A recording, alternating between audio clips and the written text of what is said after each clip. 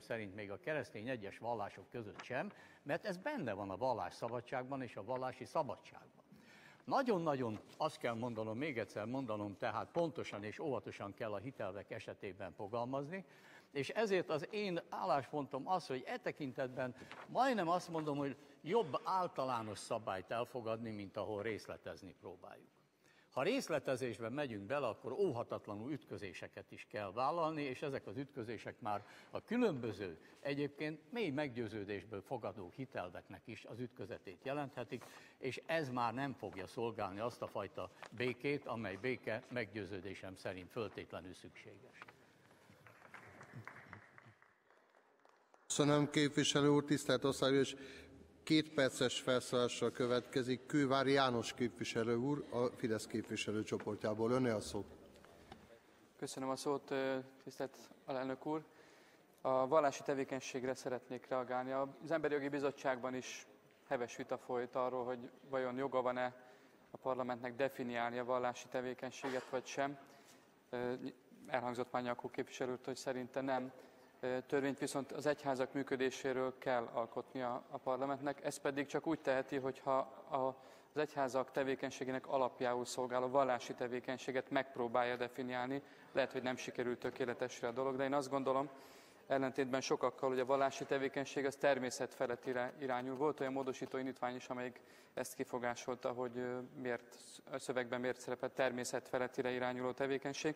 Hát nyilvánvalóan a vallás az erre szolgál, de ezt a vitát egyébként a bizottságban is lefolytattuk, ellentétben az ideológiával, ami bármi lehet, és bármiben hihet, aki akar, az azonban nem vallási tevékenység, és arra nem alapítható egyház sem.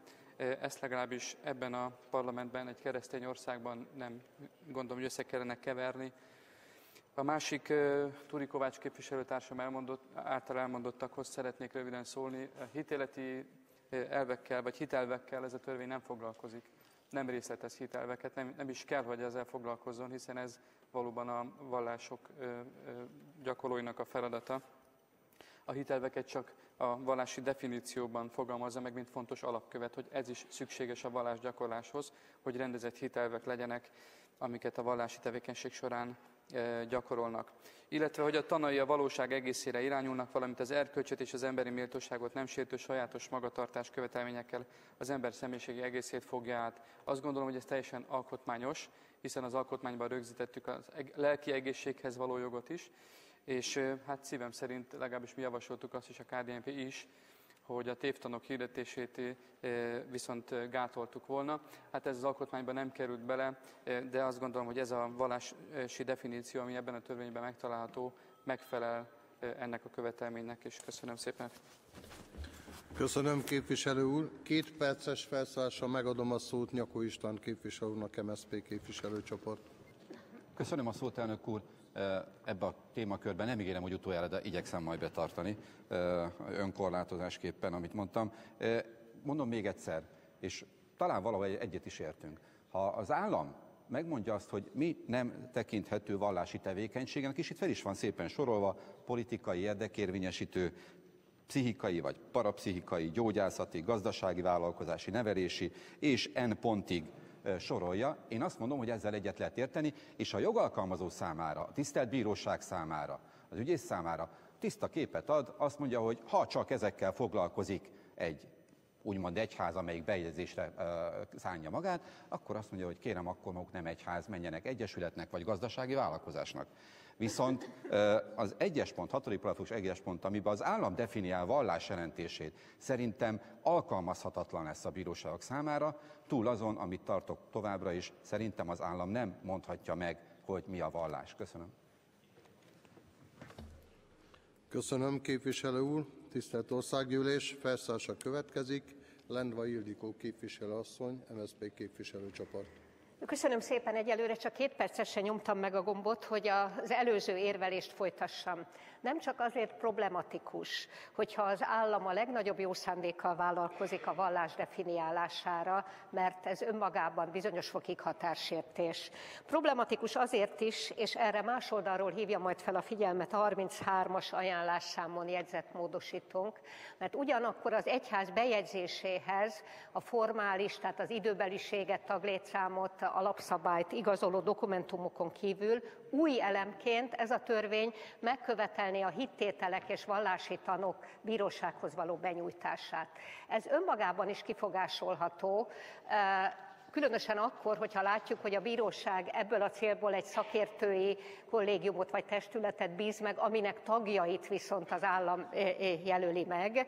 Tudnélik, fölmerül az emberben a gyanú, hogyha csak azért kell beadniuk a hittételeket, hogy bizonyítsák, hogy legyen, azt bármely biznisz célból rossz hiszeműen alakult szervezet is nagyjából 5 perc alatt képes produkálni, éppen rossz hiszeműsége miatti taktikák okán. Ha viszont komolyan vesszük, hogy ezek a hitelvek a bíróságra tartoznak, akkor már jelentősége van annak, hogy hogyan definiálja a vallást a törvény. Bármikor mondhatja ezt a szakértői bizottság, hogy szerinte a hitelvek például, hogy idézek a definícióból, nem a valóság egészére vonatkoznak. Felfogás kérdése. Egyik szakértő úgy ítélheti meg, hogy az adott vallástanai a valóság egészére vonatkoznak, a másik meg azt mondja, szándékosan ironizálok, hogy mondjuk a környezetvédelem tanai nem ö, ö, szerepelnek benne, de ennél nyilván komolyabb módon válhat problematikussá, ha egyszerre marad életben a két paragrafus, a vallás def, állami definíciója, illetve a hittételek állami bírósági elbírálásának, vagy egyáltalán tanulmányozásának joga. Köszönöm figyelmüket.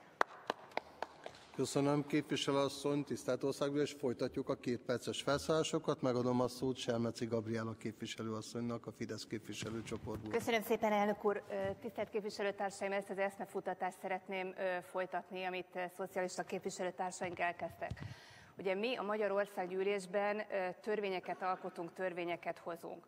Természetesen, amikor arról beszélünk, hogy vallás egyházak, akkor meg kell fogalmaznunk azt, hogy egyébként a rájuk vonatkozó törvények mihez viszonyulnak. Tehát valamit mondanunk kell arról, hogy a törvényhozás szempontjából, az államberendezkedés, az államigazgatás szempontjából mit jelent az, hogy egyház, mit jelent az, hogy vallás hiszen valamihez viszonyulva meg kell majd mondanunk, hogy mondjuk hogyan adózunk, hova fogjuk az általunk felajánlott eszélyen belül az 1%-ot utalni, tehát valamit objektíven mondanunk kell. Ugye mi Fidesz Magyar Polgári Párt régóta azt mondjuk, hogy a vallás az a legszemélyesebb közügy. A személyes része az természetesen minden egyes állampolgáré, hogy hogyan viszonyul Istenhez, a valláshoz, az egyházakhoz. A saját maga fogja eldönteni, hogy mi az ő hite, hitélete. De a közügy az az, hogy mi törvényt hozunk, és ebben a törvényben objektíven meg kell határoznunk nekünk azt, hogy mi az, hogy vallás és egyház, amint azt mondtam, mert hogy ehhez képest hát viszonyulnunk kell ahhoz, hogy az állam hogyan működik, milyen az ő szervezete, viszonya az egyházakkal, amint példaként mondtam, például az adózás szempontjából. Egyébként pedig csak örömömet tudom kifejezni, hogy az MSZNP utódpártja, a szocialista párt így elmélyül ennek a törvénynek a vitájában. Köszönöm szépen. Köszönöm képviselőasszony, két perces felszólása következik. Kővári János képviselő a Fidesz képviselőcsoportjából. Köszönöm a szót, elnök úr, a Nyakó úrnak a, és Lendva Ildikó képviselőasszonynak a hozzászólására reagálva még egyszer megpróbálnám elmondani, hogy ugye az államnak itt ebben a dologban egy alkotmányos kötelezettsége van, hogy biztosítsa a lelkiismeret és vallásszabadságot, és még egy, hogy a lelki egészséghez való jogot is biztosítsa valamilyen módon. Pontosan az ilyen visszaélések miatt egyébként önök is tudnak nyilvánvaló többet felsorolni, hogy az, az, a, a korábbi liberálisabb egyházügyi vagy egyházi törvények kapcsolatban milyen visszaélések merültek fel. Számos olyan egyház jegyeztette be magát, akik parapszichikai tevékenységet folytattak ezzel emberek egészségkárosodását okozva, emberi méltóságát megalázva. Számos olyan tevékenység is folyt egyházi címszó alatt, ami kifejezetten gazdasági tevékenység volt, azért jegyeztették be, hogy adómentesen, vámmentesen hozhassanak be dolgokat, adómentesen működhessenek. Nyilvánvaló ezeket szeretnék kiküszöbölni ez a törvény, ezért tesz kísérletet arra, hogy a vallási tevékenységet, mint az elsődleges tevékenységet az egyházaknak megpróbálja definiálni. Hosszú napokig, vagy hetekig, évekig tartó vitát folytathatnánk arról persze, hogy ez a definíció pontos vagy nem, de mégis a korábbinál sokkal jobban rögzíti azokat az elveket, ami mentén a valódi egyházak kaphatnak jogosan működésre lehetőséget, és azok nem, amelyeknek a tevékenysége elsődlegesen gazdasági, vagy még egyszer mondom, emberi méltóságot sértő, netántán a lelki egészséget sértő magatartása folyt. Erre törekszünk, segítsenek jobbító javaslatokkal, azt gondolom, hogy ne történhessenek ilyen visszaélések a jövőben. Köszönöm. Köszönöm, képviselő úr, tisztelt országgyűlés. Folytatjuk a két perces felszállásokat. Tájékoztatom a tisztelt országgyűlést. Öt További kétperces felszólalás következik. Esőként megadom a szót Nyakó István képviselő úrnak, MSZP képviselőcsoport. Köszönöm szépen, elnök úr. Selmeci Gabriela képviselőtársammal szeretnék egy kicsit polemizálni, vagy talán historizálni, kezdjük a historizálással lehet, hogy nem egy mókusesbe voltunk egyébként az állampárt idején, és nem is emlékszem a, a tigris rajba, hogy együtt álltunk volna esetleg a tábor előtt törségbe, de azt gondolom, a hasonló korúak vagyunk, természetesen ön sokkal fiatalabb elnézést kérek, de sokkal több részünk nem volt ebbe a dologba. Azzal együtt, hogy ha most hirtelen fel kéne állni ebbe a házba, hogyha tele van a ház minden kommunistának, akkor azt gondolom, hogy önök sem szégyenkezhetnének ilyen szempontból. Ez az egyik. A másik, ez a törvény és az egyszázalékos felajánlás akkor is működött, amikor ezt a törvénytervezetet nem nyújtották be hiszen a 90 évi négyes törvény ma egyébként többé-kevésbé rendezi az egyházaknak a működését. Önök benyújtottak egy törvényjavaslatot az úgynevezett biznisz egyházak kiszűrésével kapcsolatban. Én nem vagyok százszerzékig biztos benne, hogy ez kiszűri a biznisz egyházakat, olyanok, amelyek egyébként bíróság által kimondottan nem működtek ebbe az országba. Bíróság a 94-es törvény alapján Eddig is kimondhatta volna egyházról, ügyészi nyitványra, hogy ez biznisz egyház. Ilyen nem történt, tehát vélelmezhetjük csak, hogy van ilyen. Egyébként a törvény többi részébe pedig a vélelmezés után az egyházak, akik eddig megszerezték el a jogot, a nagy részét kizárják az egyházi körből, ez pedig szerintem botrány. Köszönöm szépen. Köszönöm, képviselő úr.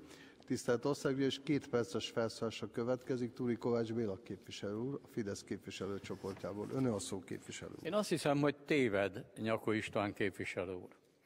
Ez a törvény, még hogyha én érzek is benne ö, olyasfajta hiányosságokat, amelyet egyisten hívőként talán jobban szeretnék benne látni, egyáltalán nem arra törekszik, hogy kizárjon egyházakat, akik valóban egyházak, hanem arra törekszik, hogy tiszta viszonyokat teremtsen azon a rendszeren belül, amely ma biztos, hogy nem tekinthető tiszta helyzetnek, hiszen a gazdasági előnyök érdekében a legkülönbözőbb csoportosulások ma egyháznak valhatják magukat. Az én vitám abban van, ha szabad ezt mondanom, hogy azzal kell megkülönböztetni, hogy hitelveket próbálunk megfogalmazni, nem tudok jó megoldást, csak gondolkodom, hangosan most itt az egész közösség előtt, hitelveket próbálunk megfogalmazni, vagy megpróbáljuk kizárni azokat a lehetőségeket, amelyek egyébként a visszaéléseknek a melegágyai.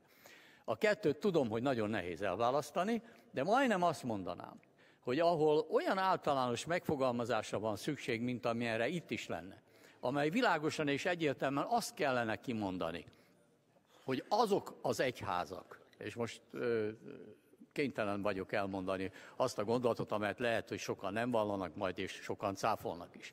De azok az egyházak, amelyek az egyisten felé való törekvés szolgálják, és ennek a szolgálatában áll az egész tevékenységük. És a tevékenységüknek minden más ága is ezt kívánja szolgálni, azok az egyházak álláspontom szerint tekintet nélkül, hogy milyen hitelveket vallanak egyébként, bevett vallások lehetnek. Ez, ez az én meggyőződésem. Ott ugyanis, ahol ezek nem állanak fönn, tehát negatív az e tekintetben a megítélés, e tekintetben vallásról nem beszélhetünk, gazdasági társaságról, meg sok minden más egyébről lehet beszélni. Ezért gondolom azt, hogy téves az a fajta megítélés, még ha netán jó szándék vezetné is a képviselő urat, amikor itt valamiféle olyan kizáró körülményeket vél felfedezni, amelyek korlátoznák a vallásszabadságot. Meggyőződésem szerint helyes alkalmazás esetén kiterjesztheti a vallásszabadságot. Köszönöm, képviselő úr. Felszállás, két perces felszállása következik. Lendvai Ildikó képviselő asszony. Köszönöm a, szé, köszönöm a szót. Képviselő hölgyek és urak, valódi kérdésről vitatkozunk, és ahogy Túri képviselő úr mondta, nem olyan könnyű megtalálni azt a keskeny határt, ami a törvény elfogadható céljait szolgálja. Mert azzal egyet lehet érteni, hogy az úgymond valódi egyházak, társadalmilag hasznos tevékenységet végző egyházak minél nagyobb mozgásteret kapjanak nyilván a lelkismereti szabadság tiszteletben tartásával, eh, de ne élhessenek vissza ezzel a lehetőséggel, most én is leegyszerűsítve mondom a szót, a biznisz egyházak. Ebben a célban tökéletesen egyetértünk. Mi pusztán azt mondjuk, de ez elég komoly mondás, hogy eme jó szándékú célt nem szolgálja a jelenlegi módosítás néhány passzusa, ellenkezőleg újabb, az eddiginél nagyobb problémákat teremt. Miért? Ha a vallás definícióját az állam szabja meg, akkor végül is olyan területre lép át, ami nem az ő dolga. Nyilván a vallás definícióját nem egyik vagy másik egyház megfogalmazása szerint alkalmazza, hiszen ez részrehajlás volna, nem ez a szándék. Ez esetben viszont csak a tudományt lehetné alapul, vallásfilozófiát, vallásszociológiát, valláselméletet. Igen ám, de nem csak a jelenleg érvényben lévő alkotmány, hanem az új alaptörvény is kimondja, hogy tudományos igazság kérdésében az állam nem jogosul dönteni. Nincs joga erre a definícióra. Hadd tegyem hozzá, hogy szintén a valláselmélet tudorai szerint ez a definíció jelenleg kifejezetten az úgynevezett könyv alapú vallásokra, tehát az egységes tételbe foglalt vallásokra vonatkozik. Ennek látszólag kevés gyakorlati jelentősége van a magyarországi vallásfelekezetek egyházak tekintetében, de egy példa arra, hogy a legjobb szándékú definíció is, ha az állam adja meg, akinek ez nem dolga, olyan típusú kirekesztésre ad alkalmat, ami egyikünknek sem célja. Egyetértek Túri Kovács képviselő úrral, ez nem cél. Nem cél, de lehet valóság. Köszönöm szépen. Köszönöm, képviselőasszony. Tisztelt Országgyűlés, két perces felszállásra megadom a szót a Varga László képviselő úrnak, a KDNP képviselőcsoportjából. Köszönöm a szót, tisztelt ház. Szeretnék válaszolni, illetve vitatkozni az előttem felszólalókkal. Turikovács Bélának szeretném azt mondani, hogy téved, amikor azt gondolja, hogy ezzel a törvényel mi hitvallást szeretnénk megfogalmazni. Véletlenül se. Annak kell valamilyen hitvallást, valamilyen ö, dogmatételt ö, megfogalmazni, aki egyházként akarja magát beegyeztetni. Tehát nem a törvény fogalmazza meg, hanem annak, aki ö, ezt akarja tenni. Ami pedig a vallás megfogalmazását illeti, tökéletesen egyetértek, hogy másféleképpen is meg lehetne fogalmazni a, a vallást. De most tessenek nekem mondani, a lelkiismeretet hányféleképpen lehet megfogalmazni. De mikor a vallási törvényről beszélünk, elindul itt jó pár oldalon a vallási törvény akkor úgy kell elindulni, hogy először meg kell határozni, valami módon körül kell írni, hogy ez a törvény miről szól. Ez nem kizárja, az, ez a megfogalmazás senkit nem zár ki a megfogalmazás, hanem egyszerűen keretet ad a törvénynek. Még egyet, amikor Nyagó képviselő úr azt mondja, hogy itt fel van sorolva a negatívumok, hogy mik nem valás, ez a gyakorlatból jött elő mert ilyenek azok, akik ilyen céllal a biznisz egyházakat végigvették. Még hozzá lehet tenni, és módosító javaslatba be is fogadták az előterjesztők, például szociális céllal se lehet egyházat létrehozni. Az egy gyönyörű cél a szociális, de nem egyház. Tehát ide még lehetne tenni, de ez a gyakorlatban ezek mind előfordultak, azért vannak felsorolva. Köszönöm képviselő úr, folytatjuk a két perces hozzászólásokat, megadom a szót Mirkócki Ádám képviselő úrnak, a Jobbik képviselőcsoportjában. Önné a szó. Köszönöm szépen a szót, elnök úr, tisztelt országgyűlés. Az eddig elhangzottakból két dolgot emelnék ki. Az első igazából kérdés. Én nem értem, hogy miért kell olyan nagy sikerként beállítani azt, hogy a környezetvédelmi tevékenység bele lett foglalva az egyházakról szóló javaslat preambulumába. Én nem gondolom, hogy az egyházak, mint társadalmi tevékenység és lelki tevékenységet végző, most idézőjelbe teszem intézményeknek a környezetvédelem a legfontosabb. Fontos dolog a környezetvédelem, de szerintünk nem itt van a helye. Nagyon sajnálom, hogy nincsenek itt az előterje, illetve a módosítót megfogalmazó lmp képviselők, mert én most megkérdezném tőlük, hogy mit értenek az egyházak tevékenység alatt, mint környezetvédelem. Nem tudom, hogy atomvonat elé kell feküdni, vagy, vagy minden templom tetejére napkollektort kell szerelni, vagy értem én ezt a zöld dolgot, és valóban fontos, de szerintünk nem itt van a helye. Viccet félretéve pedig többször elhangzott itt ez a felsorolás, nevezetesen a hatos paragrafus második bekezdésének sora, hogy önmagában nem tekinthető vallási tevékenységnek a, és akkor sorban ö, kifejti a javaslat, hogy mi. Nekünk ezzel az az egy problémánk van, hogy szükségesnek tartjuk ezt, de nem elégséges. Ugyanis nem tudom, hiába hangsúlyoztam többször a vezérszónoki felszólalásomban is, Sajnos ez a megfogalmazás önmagában így szerintünk pontatlan, mert kizárólagosságot feltételez. Tehát mondom az ABC pontot, politikai és érdekérvényesítő, pszichikai vagy parapszichikai, gyógyászati. Ez, hogyha valamelyik önmagában áll, akkor nem lehet egyház, rendben van. De ha kettő teljesít belőle, ami továbbra sem lesz tőle tartalmilag egyház, akkor helyes. Tehát mi azt mondjuk, hogy ezt mindenképpen gondoljuk tovább, és egy kicsit pontosítjuk, mert ez így, ez így nem kell, és akkor a többit majd normál hozzászólásba. Köszönöm szépen. Köszönöm. Két perces felszállásra megadom a szót Lendva Ildikó képviselőasszonynak. Öné a szó. Köszönöm szépen, ha Varga képviselő úr megengedi, vele folytatnám most nem is a polémiát, inkább a beszélgetést így nagy nyilvánosság előtt. Képviselő úrnak igaza van a példájában, amikor azt mondja, hogy hát a lelkiismeretet is épp olyan sokféleképpen lehetne definiálni, mint a vallást. Igen, éppen ezért a lelkiismereti szabadságról szóló jogszabályok sehol nem is tesznek kísérletet, hogy a lelkiismeretet definiálják. Körből elmondják, hogy milyen követelményeket kell érvényesíteni érdekében. És mégis működik a dolog.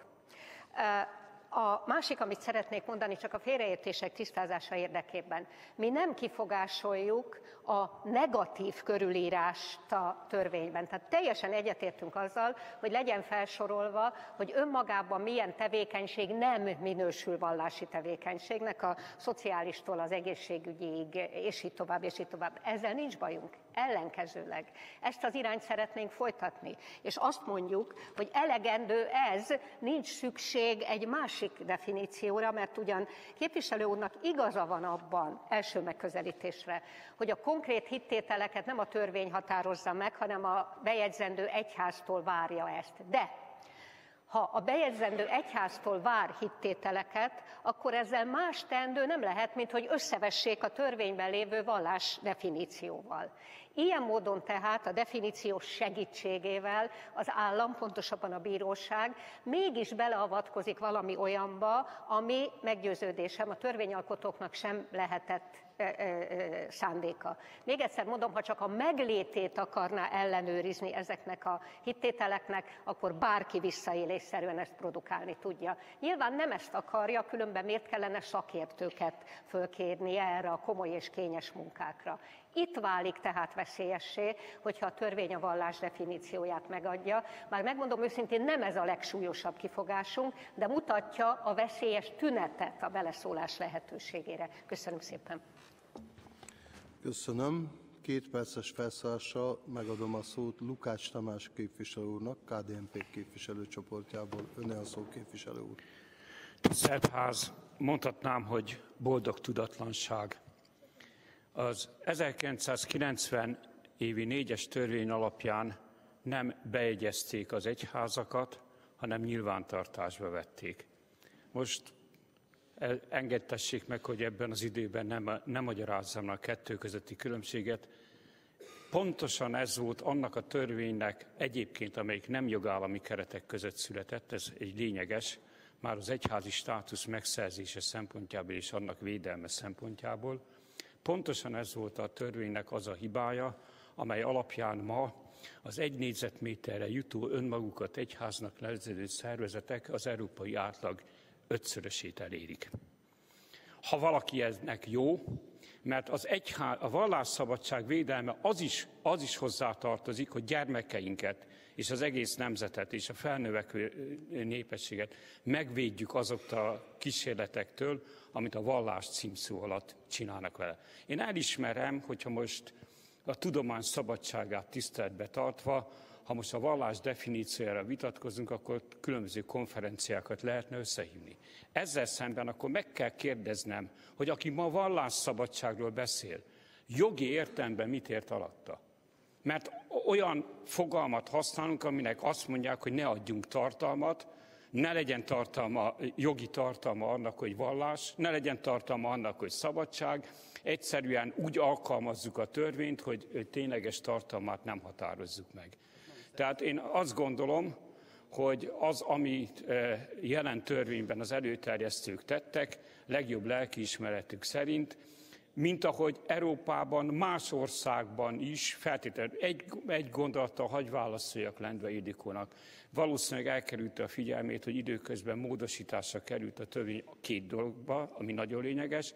Egyrészt, hogy szakértőzt alkalmazhat, a bíróság, másrészt pedig a PP szabályt beemeltük. Tehát ugyanúgy fog eljárni a bíró, mint egy közlekedés vagy más ügybe, nem kötelező, hogy alkalmazzon szakértőt, de ha a bírónak szüksége van szakértőre, akkor ugyanúgy, ahogy a PP rendszerében szakértőt alkalmazhat. Tehát olyanról vitatkozunk, amit már rég meghaladtunk, de nagyon szívesen ilyen a parlamenti műfaj állok rendelkezésére. Köszönöm szépen. Köszönöm, képviselő úr. Mielőtt megadnám a szót Lendva Ildikó képviselőasszonynak, tisztelt országgyűlés, jeleznem kell, hogy az általános vitát a ház már lefolytatta. Most a részletes vita van napirenden, ennek megfelelően kérném megtenni a hozzászólásokat. Megadom a szót Lendva Ildikó képviselőasszonynak. Köszönöm, alelnök úr. Természetesen a részletes vita szabályai szerint szólunk hozzá, hiszen AMA módosítóról beszélünk, hogy tele a vallás definíciója a törvényben. Nem is akarnánk már erre... Leesett, bocsánat. De jó volt. De még nagy sikerre volt tekinthető. Kiváló hangerővel beszél képviselőasszony, de jobb, ha mikrofonba teszi. Azt kellene hazudnom, hogy eddig mondtam a legokosabbakat, és nem leszek képes megismételni, de ez nincs így. Tehát természetesen a részletes vita szabályai szerint beszélünk, hiszen egy adott módosítóról, a vallás definícióját eltörlő módosítóról beszélünk. Nem is akarnánk tovább folytatni a magunk részéről a vitát, de egyetlen dologra hadd hívjam fel eh, előterjesztők eh, és az előttem szóló képviselő úr figyelmét. Az új törvényjavaslatban is az egyházak nyilvántartásba vétele szerepel, és nem bejegyzése. Képviselő úr nyilván tudja, hiszen ő az egyik aláírója ennek a törvénynek. Ebből a jogi szempontból, tehát ha jól értettem érvelését, nem változik 90-hez képest a szabályozás. Köszönöm figyelmüket. Köszönöm, képviselőasszony. Tisztelt Országgyűlés, két perces felszállásokkal folytatjuk. Megadom a szót Hoppá Péter képviselő úrnak, Fidesz képviselőcsoportból. Köszönöm szépen a szót, elnök úr. Tisztelt ház, ugye a vita jelenlegi szakaszában, részletes vitában éppen a preambulumhoz kötődő módosító indítványokról folyna a vita, azonban nyilvánvaló, hogy az általánosságot is érintjük. Nagyon fontos kérdés szerintem az, hogy eltelt 20 év a rendszerváltás után. Nyilvánvaló igény és fontos igény a társadalom részéről, hogyha közpénzek is forognak az egyházak által fenntartott intézményrendszerekben, szociális intézményekre gondolok és oktatási intézményekre, akkor ezeknek a felhasználása az lehetőleg nagyon pontos és jól szabályozott legyen. Ugyanakkor nyilvánvaló, hogy a 21. században, ahogy ezt a bizottsági vitában elmondtam, a 21. században nagyon érzékeny törvényt kell hozni ebben a kérdésben. A preambulum és az azt követő normaszöveg megpróbálja az előterjesztő szándéka szerint ezt az érzékenységet felmutatni.